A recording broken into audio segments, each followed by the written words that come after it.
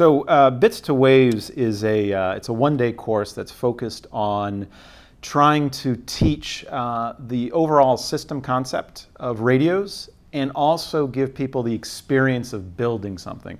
Because one of the things that's been missing in education has been the ability to actually uh, fabricate and build something up. Because today, with uh, the wonderful CAD tools that are out there, we tend to design everything, and then we hit go, and somebody else fabricates and, and, makes it. And we lose touch with how things are made, and we also lose sort of the joy in building something ourselves and seeing it work uh, and getting in touch with the actual final product.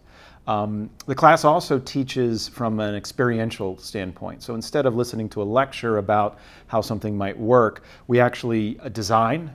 Uh, we do a complete layout. We do EM extraction. Uh, we fabricate the boards. Uh, we populate the boards, and we test them. So you get to go through the entire flow of an actual problem, and that tends to be a lot more effective for people to learn and a lot more fun also. So David, can you tell us uh, how your workshop went today? Uh, it's gone great. Uh, we're down. We've had 36 people make a complete design, and we've just finished fabrication of the last designs, and we'll be testing here and done around 4 o'clock. So we're, uh, we're really excited to get everybody through, everybody tested, and so far everything's worked